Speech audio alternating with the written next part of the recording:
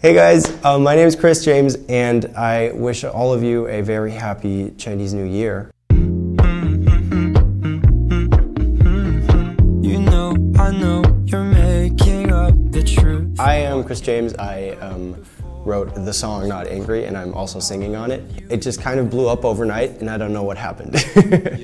Back then, I got into a fight with my ex girlfriend, now ex girlfriend, um, and it was kind of more of a makeup song. It was I wrote it to to kind of like after after our fight, I wrote a song about like us kind of making up. How did you know that it got famous in China? I uploaded it on YouTube, and then all of a sudden, I was getting comments in Chinese underneath the YouTube video.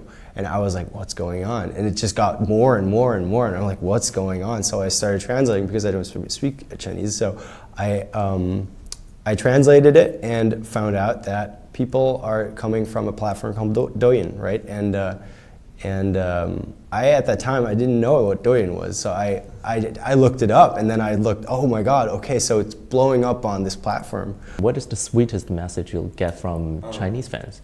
Um, I think the, the ones that I like the most are that tell me that how much the music helps them kind of relax.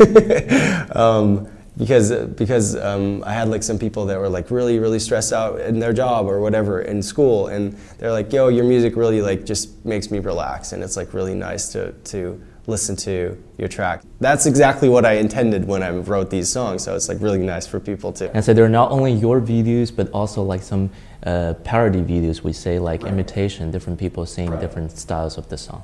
Do you have any uh, impression on these songs? It's so cool. What I loved the most were the guitar tutorials where people are trying to teach other people how to play the song guitar because that's kind of how I learned to play guitar. So it's like really nice to see that kind of full circle moment.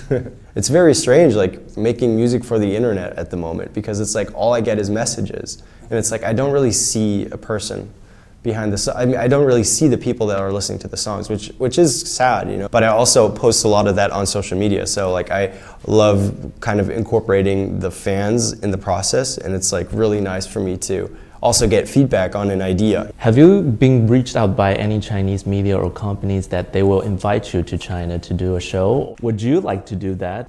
Um, I, I mean, I would love to do that. Totally. It's for me like all of the all, everything that's happened ever since Not Angry has been like growing like that. Um, it's just it's something that I would have never dreamed up. And like I've I've been in Germany for a lot long time, and it's like really hard for me to break here. And it's like and now all of a sudden my music breaks somewhere else. It's completely different. I've never been there, so it's like super exciting, and I would totally be down to do do